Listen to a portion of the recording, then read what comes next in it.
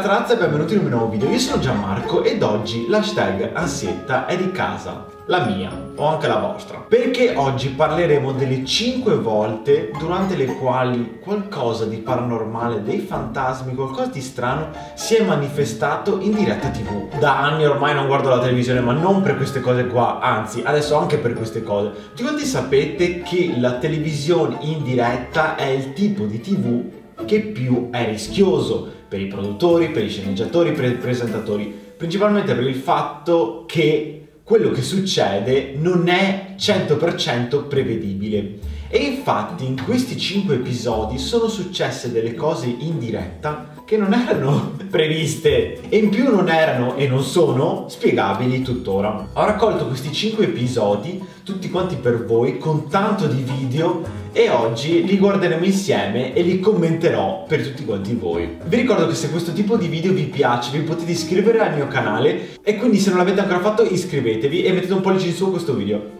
Il primo episodio di cui vi voglio parlare è un episodio che è accaduto nel 2014, il giorno prima di Halloween, quindi più o meno in questo periodo. Il giorno prima di Halloween un gruppo di giornalisti di ktvn.com andarono a visitare le rovine di una casa che apparteneva ad un uomo, William, detto anche Whiskey Bill. Infatti da quello che si narra, il signor Whiskey Bill era un amante dei superalcolici e li produceva in questo suo casale in questa sua abitazione che adesso non sono altro che rovine. L'abitazione venne costruita nel 1930 e successivamente abbandonata a se stessa. Il telegiornale di KTVN.com decise di collaborare con un gruppo di ricercatori sul paranormale i Boogeyman NV, che da anni sostengono che la location sia infestata. Tanto che uno dei Boogeyman NV, per dare un grado di valutazione di, di paranormale in questo canyon, in questa casa infestata, ha detto che da 1 a 10 siamo a 11, principalmente per il fatto che i resti del proprietario di casa sono stati seppelliti proprio lì vicino. A circa 100 metri dalla casa si trova infatti una zona adibita a tomba per Whiskey Bill. Il gruppo di Boogeyman NV sostiene che il proprietario di casa non se ne sia mai andato. Uno del gruppo di Boogeyman NV sostiene che Whiskey Bill si sarebbe manifestato addirittura in un registratore vocale. Ci sarebbe infatti questa registrazione dove una voce urla Muori Pete.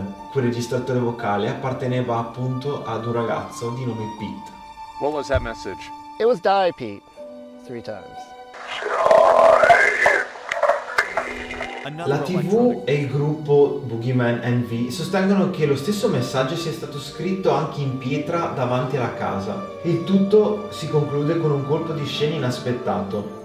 Mentre la TV fa un'intervista ad uno dei ragazzi del gruppo Boogeyman, si sentono dei rumori metallici provenire dalla casa, seguito da una voce che dice non siete soli. E questo qua è il video. phenomenon or EVP message was left. This came from the grave.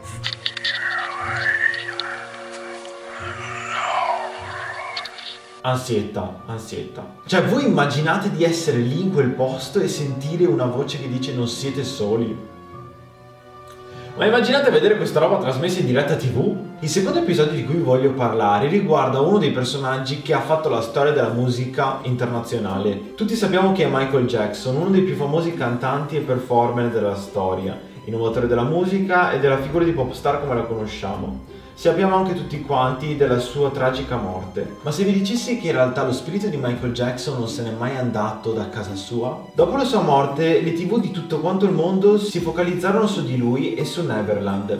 Neverland era la casa, anzi, praticamente il parco divertimenti che Michael Jackson aveva costruito per se stesso e anche per tutte le persone che volevano entrarci. La CNN tenne un servizio live all'interno della casa di Neverland dove sembra a un certo punto comparire un'ombra sospetta. Mentre infatti vengono inquadrati dei corridoi di Neverland, un'ombra scura umanoide compare nella scena. You know, it was okay, but when he locked, he wanted his privacy.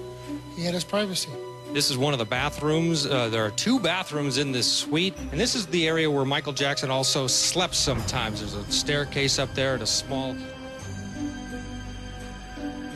E se fosse Michael? E se fosse ancora lo spirito di Michael che vive e passa il suo tempo all'interno di Neverland? In effetti nella scena si vede proprio comparire questa ombra che poi scompare all'improvviso. La CNN giustificò la scena come un addetto ai lavori che per sbaglio era comparso durante la diretta. Se invece la CNN stesse nascondendo di aver ripreso il fantasma o lo spirito di Michael Jackson, se non altro speriamo che se ne stia a casa sua e che non vada in giro a spaventare la gente e pace all'anima sua raga, mi dispiace tanto. L'ombra che viene ripresa è veramente molto strana, è un po' ambigua. La CNN dice che era un addetto ai lavori, Tantissimi sostengono che lo spirito di Michael era ancora lì in quel momento quando sono state riprese quelle scene. Sta a voi decidere. Fatemi sapere nei commenti qual è la vostra opinione. Il terzo evento paranormale ripreso in diretta TV del quale voglio parlare è un fantasma in autostrada. Gli spettatori della ITV, mentre guardavano il telegiornale 2011, si sono chiesti: è un fantasma? Dopo la scena di un incidente mortale, una giornalista si posiziona nella zona dell'incidente, quando all'improvviso una strana ombra compare nella scena che non ci fa altro che pensare che possa essere il fantasma di qualcuno morto per l'incidente. Forse morto nello stesso incidente accaduto poco prima? ITV non poté fare niente per negare l'evidenza. Dovettero infatti rilasciare un comunicato stampa e commentare quello che era stato ripreso. Dichiararono che secondo loro non era altro che un insetto che attraversava la telecamera in quell'esatto momento. Io onestamente guardando così questa scena non vedo un insetto, avremmo, se fosse stato un insetto avremmo visto comunque le parvenze di una zampa, di, di un'antenna, qualcosa del genere, delle ali e in più avrebbe avuto un movimento molto diverso da quello. Raga, secondo me non è un insetto, un insetto che entra in scena lo vedi palesemente perché ha un effetto diverso e in più alla luce del sole non avrebbe mai quel, quell'ombra. Io sono abbastanza convinto che qualcosa di strano ci sia in questa scena. Fatemi sapere nei commenti cosa ne pensate voi. Questo è un eh, video che mi ha lasciato completamente sconcertato e a bocca aperta, quindi ragazzi preparatevi. L'ultimo posto dove io penserei mai di trovare un fantasma, e raga, mi sembra di averne passate abbastanza, è proprio un campo da calcio. Mai mi aspetterei di trovare un fantasma o qualcosa di paranormale in un campo da calcio, specialmente durante una partita trasmessa in diretta tv. E penso che questa cosa sia abbastanza condivisibile, però a quanto pare dobbiamo ricrederci. Durante una partita di calcio, ripresa in diretta, ma anche se siete lì allo stadio a guardarla, l'attenzione è completamente rivolta ai giocatori, alla palla, al gioco, non di certo agli spalti. In questa scena però sta accadendo una cosa veramente assurda, paranormale, negli spalti. Una figura umanoide infatti ad un certo punto acquista notevole velocità e attraversa le inferriate, le persone e tutto quello che trova davanti ai suoi piedi. E le persone che guardano la partita sono completamente indisturbate dal tipo che li attraversa come se fossero burro. È corretto, ningún amonestado. Sacará al arquero, le pega fuerte a la pelota. Vaca, se termina el encuentro de ida, octavo de final, Copa Bristol Libertadores.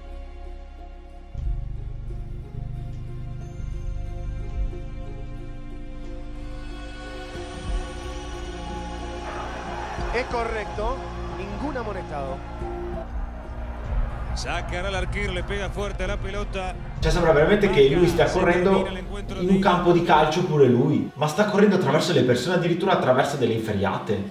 E se non se ne fossero accorte perché è un fantasma o qualcosa di non umano, a voi lascio giudicare. Se questo non è abbastanza per farvi capire che la televisione è il male supremo e ci può donare veramente molta ansietta anche inconsapevolmente, arriviamo all'ultimo episodio che conclude perfettamente tutto questo video qua. Lo so raga, veri ansietta, però eh, dobbiamo arrivare alla fine. Se siete arrivati qua fino alla fine senza restare così, oh mio Dio, bravi. Vi dico onestamente, questo qua secondo me è uno dei video più sconvolgenti e inspiegabili che io abbia mai, abbia mai visto e ne ho visti veramente tanti, ma questo qua proprio, secondo vince il premio, è il video più inspiegabile di sempre. Secondo questo TG, questo bambino sarebbe posseduto e perseguitato da un demone che si accanisce su di lui fisicamente. Questo bambino sarebbe infatti perseguitato costantemente da un fantasma molto violento che lo attacca a proprio piacimento. Il TG decise di intervenire facendogli un'intervista ed infatti in questa intervista il fantasma si manifestò in qualsiasi maniera possibile. È possibile infatti vedere scene dove il bambino viene completamente trascinato da una presenza invisibile, dove viene colpito, ribaltato su se stesso, acrobazie che fisicamente sono impossibili da fare. A quanto pare la cosa va avanti da molto tempo e il fatto più strano è che non accade solamente una volta e basta durante queste scene ma, ma, succede più più volte. È come se lo spirito non avesse alcun problema a manifestarsi davanti a un sacco di persone. Io sinceramente non ho spiegazioni per tutto questo perché sembra veramente molto realistico.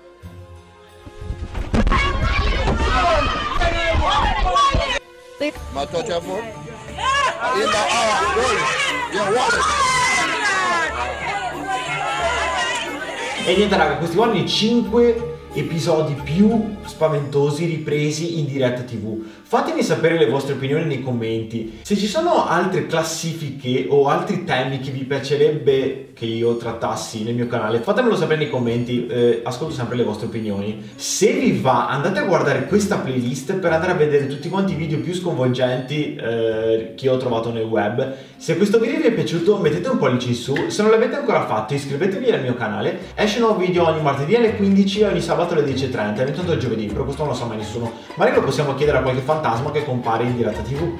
Io vi mando un bacione grande grande e al mio prossimo video, ciao!